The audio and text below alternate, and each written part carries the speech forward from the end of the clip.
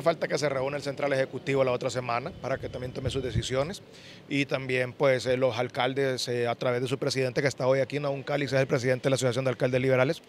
Ellos pidieron un espacio para venir la otra semana, van a venir más de 70 alcaldes que también ellos quieren tener una opinión con respecto a este tema y hay que escucharlo, ¿verdad? Y en torno a ese tema, ¿cuál es la postura de la bancada? ¿En torno a cuál tema? Ese tema de participar en esta comisión que nombró Redondo.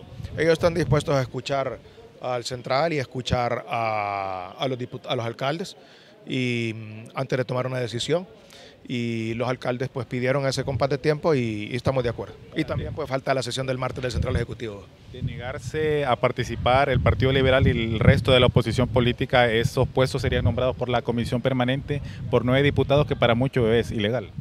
Eh, efectivamente, eso fue lo que ocurrió con el Ministerio Público y podría ocurrir con el Tribunal Superior de Cuentas, con el Instituto de, eh, Política Limpia también. Entonces, ese es un tema que lo discutimos y es un peligro que existe. ¿Qué opina de las declaraciones del ministro de la Presidencia, Rodolfo Pastor, que el día de ayer prácticamente dejó en duda que la CICI podría llegar al país? Sí, hoy lo escuché corregir sus declaraciones, ¿verdad?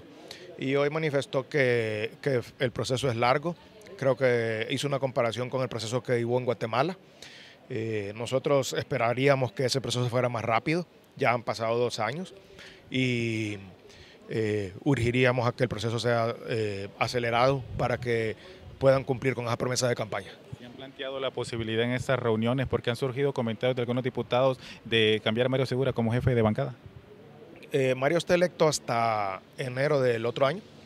En ese momento la bancada hará otra votación y ahí tomarán su decisión si Mario sigue o si eligen otra persona. Bueno, quiero que, me confirme eso porque Marlon Lara en su momento indicó que eh, la bancada no eh, apoyará eh, proyectos de ley que vengan desde el Ejecutivo después de que se nombró de forma ilegal para él este, autoridades interinas del Ministerio Público pues si ni siquiera hay sesiones en el Congreso, ¿verdad? Primero creo que hay que arreglar eso.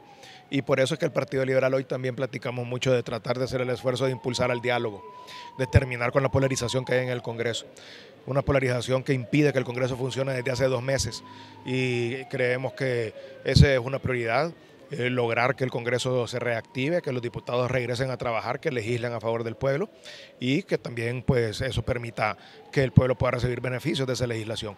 Y eh, en este momento, pues eh, obviamente no hay proyectos presentados por nadie porque van dos meses que no hay sesiones. ¿Y comparte usted con la bancada nacionalista que indica que en este momento están siendo objeto la oposición de una persecución política?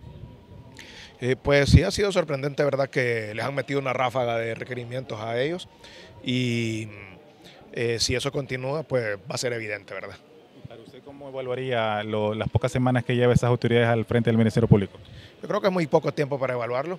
Eh, han tenido eh, apenas unas pocas semanas. vamos a darles un compás de tiempo.